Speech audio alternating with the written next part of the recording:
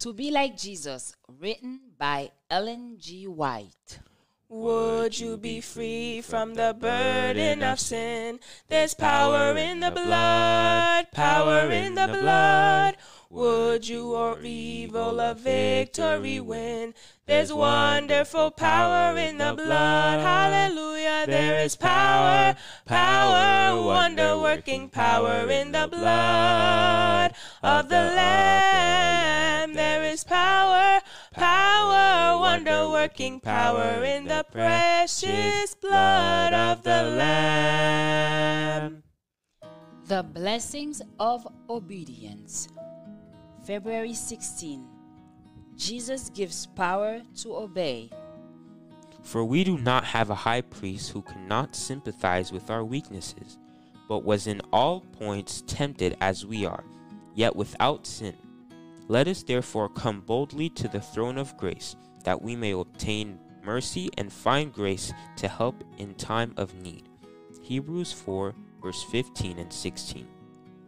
Satan represents God's law of love as a law of selfishness. He declares that it is impossible for us to obey its precepts. The fall of our first parents, with all the woe that was that has resulted, he changes upon the Creator, healing men and women to look upon God as the author of sin and suffering and death. Jesus was to unveil this deception. As one of us, he was to give an example of obedience. For this, he took upon himself our nature and passed through our experiences. In all things, it behooved him to be made like unto his brethren. If we had to bear anything which Jesus did not endure, then upon this point Satan would represent the power of God as insufficient for us. Therefore, Jesus was in all points tempted like as we were.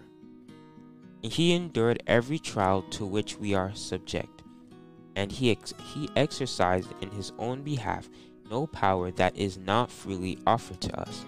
As man, he met temptation and overcame in the strength giving him from God. He says, I delight to do thy will, O my God. Yea, thy law is within my heart. As he went about doing good and healing all who were afflicted by Satan, he made plain to human beings the character of God's law and the nature of his service. His life testified that it is possible for us also to obey the law of God. By his humanity, Christ touched humanity. By his divinity, he lays hold upon the throne of God. As the Son of Man, he gave us an example of obedience, and as the Son of God, he gives us power to obey. Christ was treated as we deserve, as we might be treated as he deserves. He was condemned for our sins, in which he had no share that we might be justified by his righteousness, in which we had no share. He suffered the death which was ours, that we might receive the life which was his. With his stripes we are healed. Would you do service for Jesus your King? There's power in the blood, power in the blood. Would you do daily his praises to sing? There's wonderful power in the blood. Hallelujah. There is power, power, wonder working power in the blood of the Lamb. Wonder working power in the precious blood of the Lamb of the Lamb. Join us tomorrow for another devotional reading by God's grace. Now may the peace which surpasses all understanding keep your hearts and minds on Jesus.